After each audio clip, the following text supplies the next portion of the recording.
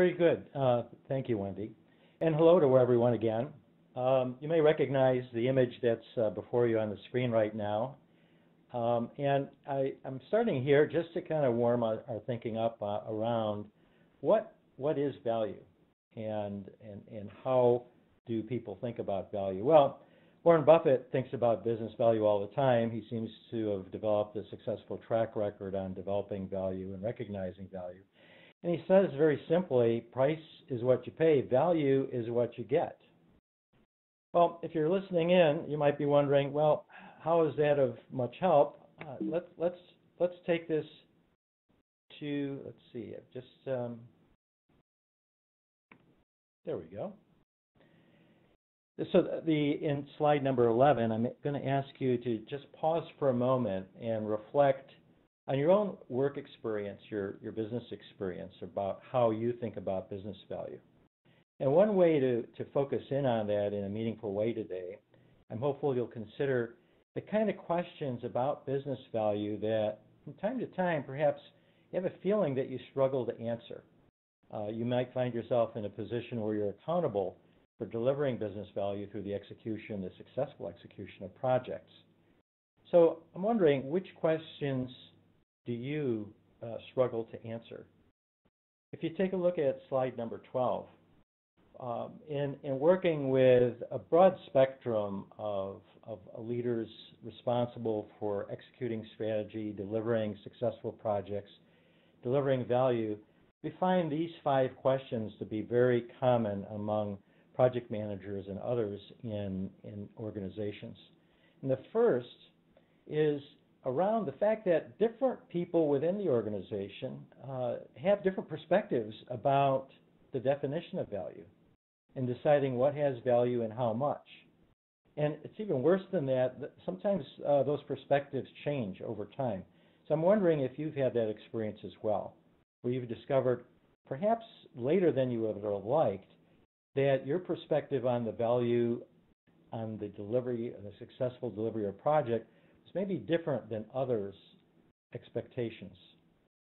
There's a lot of talk also in, que in question number two here about maximization of value. Well, just what does that mean in terms of, so how do we act? What, what do we do differently in order to maximize business value?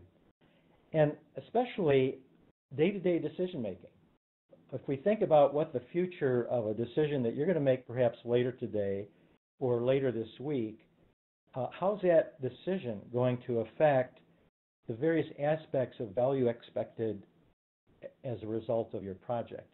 And the third question, how do you know and verify or validate after a project has been executed have they delivered the value in full? Have they de delivered any value at all?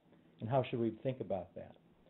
Um, when we start to get down to a more granular level in question number four, uh, often people will wonder when they have choices uh, that are compelled by limited time, limited funding, perhaps funding is being removed from a project, or there's reconsideration of scope, which functionality is going to stay and which functionality is going to go. And that's not only considered at the beginning of projects, but don't you also find that that's considered sometimes very late in a project as we're dashing to the finish line and meeting a, hard stop date for uh, delivering the uh, results of a project.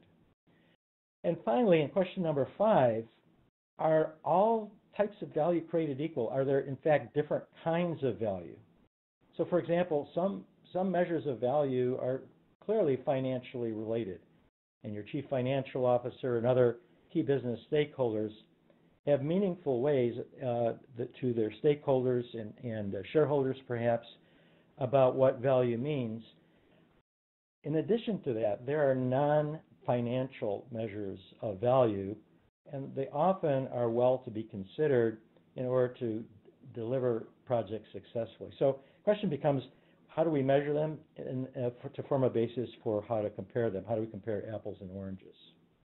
So as, as, we consider these kind of questions, and maybe you have other questions, perhaps one of these questions is of particular interest to you. Let's let's proceed and uh, think about what other project managers have said and have been captured in a study that was published in 2016 by the Project Management Institute in their Pulse of uh, Profession document It was called Identify Benefits to Drive Business Results. And here you see captured in the cartoon bubbles uh, just a, small selection of, of some of the comments about how project managers and senior, senior leaders in organizations think about business value. And as you kind of scan the, the, the slide here, you may find, as I did, there are at least four themes that emerged. One is um, the need for focus on value. Why, why are we doing this project in the first place? What value is it expected to be delivered? How do we measure it? And what triggers the successful execution of a project? And, and the one comment that very much resonated with, with my experience in leading project teams uh, in small and large organizations is the one that's on the far right-hand side. And I'll just kind of briefly read it for you. If a team does not understand why they are working on a project, it's, it's hard to maintain the momentum to get the project completed on time and within budget. I'm wondering if, if you've experienced that as well in your leadership of projects, it's very important for people to be able to ask, why are we doing this? So that they can offer their commitment. Today's world, we're moving, of course, more and more, perhaps you've seen this as well, we've certainly seen it at Group Atlantic, more and more from a control uh, end of the spectrum to a commitment end of the spectrum. Uh, the emergence of agile approaches to work are very much dependent on commitment of individuals to the why of a project. So we turn to slide number 14. So other research I'm hopeful you find uh, interesting.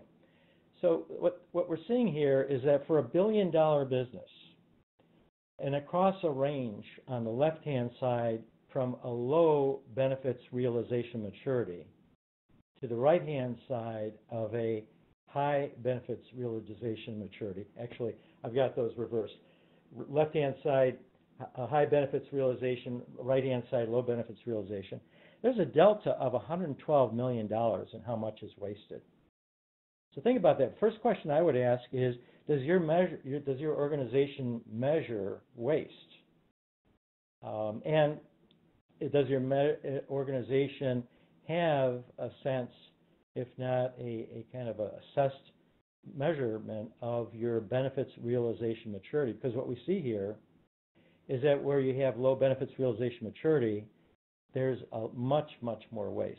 In fact, it's a three to one ratio. So you may not be a billion dollar business, but the ratios seem to apply. And, and uh, by the way, uh, I commend this report to you. There's a lot of other useful data in this report. We'll take a little bit more uh, look at it in a slide or two. So what does this mean? So how would we know if, as a project manager, if I'm if my project orientation is a high benefits realization or a low benefits realization maturity, or the, the organization in which my project works, uh, is it on the high end of the scale or the low end of the scale? Hi there, I hope you enjoyed that last clip. My name is Michael Milutis, and if you'd like to watch the full 60 minutes of that last webcast, while also gaining complete unlimited access to our entire library of IT learning, simply visit our subscribe page at greatpro.org slash subscribe.